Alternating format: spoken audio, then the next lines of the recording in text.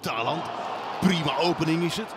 De voorzet is misschien nog wat voor Somers. En dan is de openingsgoal gewoon niet tegen te houden.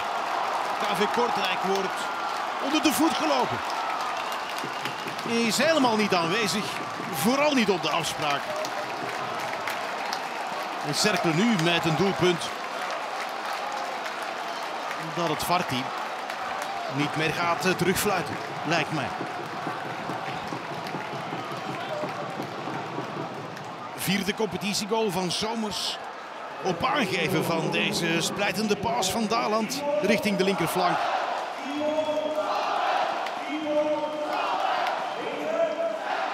Prima voorzet van de man. Goed gekeken. Prachtig uitgevoerd.